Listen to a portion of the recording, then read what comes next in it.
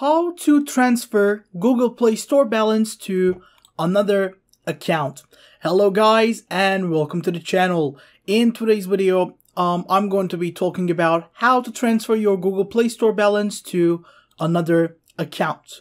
Of course, if you are in Google Play Store, doesn't matter the phone app, doesn't matter the Windows version, the PC, web browser, um, what you have to do is, of course, either go to your library and services or go to your profile in general and maybe check payment and subscriptions and everything or budget or order history.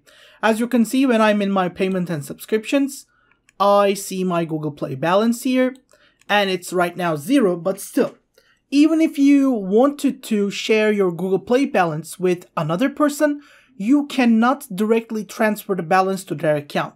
You can maybe get them a game they want, you can maybe send them something, but the problem with that is, of course, Google's terms of service do not allow for gift cards or balances to be transferred between accounts. So you have to send it to that person you want to send your balance to as a game or any other thing you can think of.